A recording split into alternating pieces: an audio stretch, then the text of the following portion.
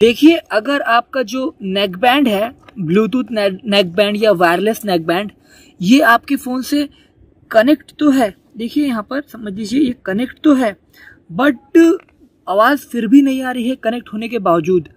तो उसको हम कैसे सही कर सकते हैं प्रॉब्लम को हम कैसे सॉल्व कर सकते हैं कि हमारी आवाज़ आने लग जाए? तो देखिए, यहाँ पर मैं सिर्फ़ आपको सॉफ्टवेयर से रिलेटेड प्रॉब्लम बताऊँगा।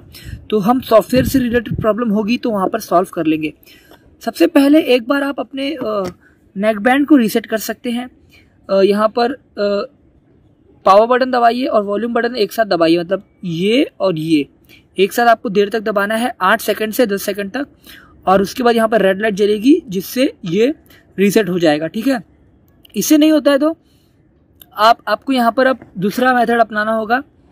यहाँ पर आना होगा अपने फ़ोन में और उसके बाद यहाँ पर आपको दिखेगा मोर सेटिंग्स का ऑप्शन आप या तो चाहे डायरेक्ट सर्च भी कर सकते हैं यहाँ पर।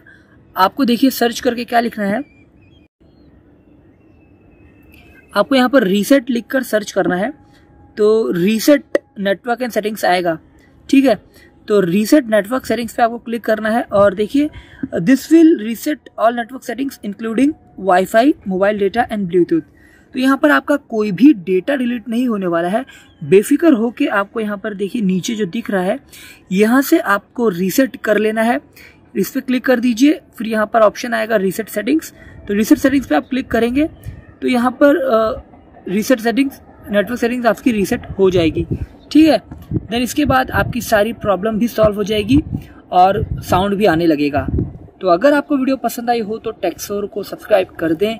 अपना बहुत ज़्यादा ख्याल रखें। अल्लाह हाफिज़।